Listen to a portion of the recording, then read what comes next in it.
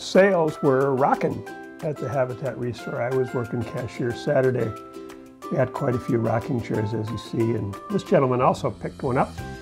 Uh, most of these were maybe 10 to $25 range, and if you're thinking of shopping, uh, visit us in New Brighton or Minneapolis. If you have stuff to donate, check out our website, uh, both for drop-off or requesting a pickup. Hope to see you soon.